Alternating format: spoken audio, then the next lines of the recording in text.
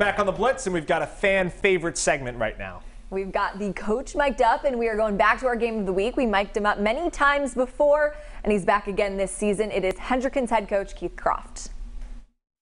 There you go. Good job. Good field position. Good job. Come on, guys. This is big. Just a thought. I don't know. Because I feel like they're on the ropes. You know, like nothing's working. We don't want to throw the ball, but maybe we just start gassing the team. I don't know.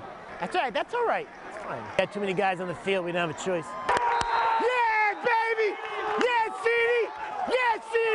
Get in the game! Frank, that's not a first, I don't think. No, it is a first. It is a first. We're in two down territory here, so don't go nuts. Well, maybe not. We'll go for a field goal. Right, good job, because I was going to kick a field goal. See what I mean? He hugged the sidelines. He either had to go straight ahead or all the way to the right. There was nowhere for him to go. That was a perfect kick. Let's not get carried away here. Keith Croft, a staple here on the Blitz.